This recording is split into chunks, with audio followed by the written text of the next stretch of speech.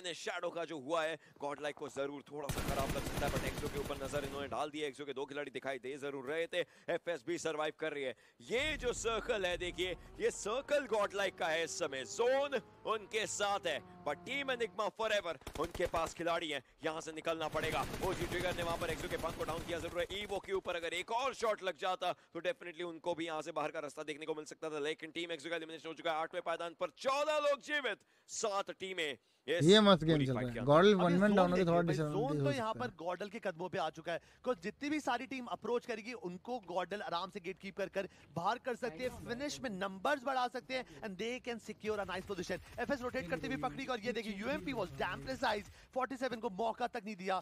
कुछ गोलियाँ नॉक और कुछ गोलियाँ उनको गेम से बाहर निकालने की काफ़ी रहेंगी गॉडल जी god everyone trying their best और चलती गाड़ी से उड़ती चिड़िया यहाँ पर मारते हुए दिख रहे जी गॉड बहुत ही लाजवाब बेहतरीन स्प्रे अब देखिए ओजी के जो ट्रिगर थे शॉट करने करने की कोशिश तो कर रहे थे बट उन्होंने इंस्टेंटली फ्लिक्ट कनेक्ट करा और उनको भी अच्छा खासा डैमेज दे दिया। ब्लू जोन का डैमेज टैंक करते हुए ये होगा 3v3 प्रॉपर 4 प्रतिशत लग रहा है यहाँ पर उनके जीते के चांसेस है। बट सबसे ऊपर है गॉडल 27 परसेंट को सर्कल उनकी झोली में। सर्कल उनके पास है। जोनाथन ये एक बहुत मेन फाइट हो सकती है आप देखिए और एक ग्रेनेड जोनाथन का एक ग्रेनेड ऐसी बुरी खबर बनता हुआ टीम एनिग्मा फॉरएवर के लिए जिसके लिए वो बिल्कुल भी तैयार नहीं थे। बाकी नाइस भाई। आकर के करेंगे। टीम एनिग्मा फॉरएवर इस चीज़ के लिए बिल्कुल भी तैयार नहीं थी। मैन एडवांटेज था सब कुछ था बट मारो बहन चोद का शुरुआत और सी गॉड की मोहर। तो अभी अभी टीएफ मर गई ना? देखते देखते बाहर का रास्ता दिलवाते हुए एफएस खत्म हो। चुकी है। जोन के बाहर थे।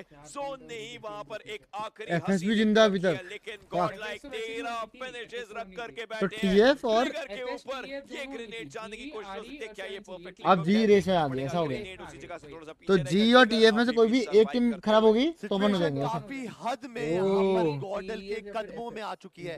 जोन का फेवर है। एक टीम को खराब खेलना चाहिए सामने बस एक एफएस चल जाएगा बे एनिग्मा गेमिंग एनिग्मा गेमिंग के दो प्लेयर बचे हैं। ये दो प्लेयर हैं ये इतने सक्षम है। कि ये गॉडल को टक्कर दे सकते हैं क्या गॉडल यहाँ पे गलती करेगी। अगर गलती नहीं करी मुझे ऐसा भाई सेक्सी ने डाला बहन जो माही चोद मेरा मार उनकी झोली में ना जाए। लेट्स सी ओपी नेट में। ओशियन बिकॉज़ अभी के लिए जो जोन है वो यहाँ पर गॉडल के फेवर में ओजी को रोटेट करना पड़ेगा। ट्रिगर अकेले बचे हैं बट वो प्रोन करके बैठे हैं। अगर यहाँ पे गॉडल ने अभी यार इस हो अभी मतलब पॉइंट में ना मैं जज नहीं करूँगा टीम को ADS खोला और क्योंकि जी वैन गॉड जो अभी सब योलो खेल रही है ट्रिगर बे, को दिक्कत वो है। एग्जिट का द्वार दिखाते अभी फाइनल्स में ऐसा नहीं खेलेगी इस टीम यहाँ पे बहन के लड़े बहुत लोग होंगे इस पॉइंट पे। यहाँ तो तीन टीम है तीन टीम नहीं यहाँ पे आठ नौ टीम रहेगी गैलेक्सी नो डाउट के आखिरी बचे हैं। उनका सब येलो खेल रहे हैं इस point पे यार। भाई मैं टॉप 2 तक पहुँच जाऊँ। इस point पे मैं तो बोल ही नहीं सकता कुछ। But every player wants to go one step further और Enigma को भी चाहिए ना points?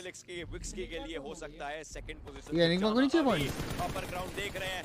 ऐसे में नियो डाउन करते नज़र आएँगे इवो को और सी गुड करेंगे फिनिश अब बचे हैं अभी अकेले। 3 नहीं, वर्सेस qualify के लिए तो नहीं है ना? सिचुएशन है। गॉड लाइक वो जिस पहाड़ के ऊपर है। वहाँ से पूरी कंपटीशन को नीचे देखते नज़र आ रहे हैं क्योंकि उस विजन से। They understand there is no competition for themselves in this Miramar right now Vicks की उनको भी सर्कल इनको भी पॉइंट चाहिए इंजिक्स को? और उसके अराउंड इनको खेलना पड़ेगा कुछ भी करके। अभी भी एक जगह पर नज़र आ रहे हैं। विक्स की को तब तो points है। शुरू कर चुका है। विक्स की सर्कल के सहारे यहाँ पर जीवित रह सकते हैं। अगर वो हील कर पाए तो काफ़ी सही लेकिन ये Nice grenade man. Kobe from Jonathan just taking the player down Vicks की आखिरी खिलाड़ी उनको भी स्पॉट किया जा सकता है। जोनाथन के पास है इसके छह नेडिंग में जो on point रहते हैं। बिल्कुल सामने रह सकता है। देखना पड़ेगा क्या हो सकता है। Proper लेकिन eye को- ये में लगा final round पर team Godlike just they had it for themselves yes कैसे स्टार्ट करी थी सेगमेंट की मैंने।